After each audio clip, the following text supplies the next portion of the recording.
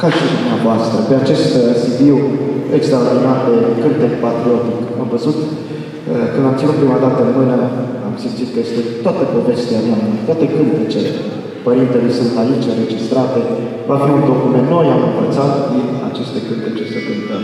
Și nu ne pare rău pentru că putem cânta și ne putem astăzi să fim împreună, să ne ovaționăm nu numai înaintași, ci pur și simplu să-i respectăm. E vorba pur și simplu de respectul față de cei vechi. Iată aceste cântece deosebite de mamă, cântece străvechi deosebite.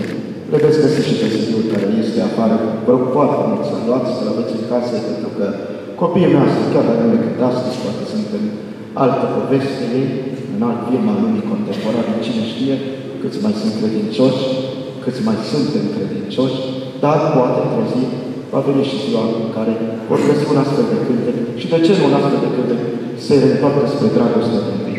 Părintele vă chiar și acum cu cântecele sale deosebite naționale pe care le-a scris și pe care le prezintă în fața dumneavoastră. Și acum, dragii mei, permisiunea dumneavoastră, vă rog să ne îndreptăm cu toții pe malul Mureșului, lângă Iernu, acolo unde, în 44, au fost împușcați 11.000 de români care își apărau blia, patria, neamul și credința. Se spune că cotul acela de la Oarba, a Mureșului, apa Mureșului era roșie de sângele celor care au luptat pentru apărarea viei străbune.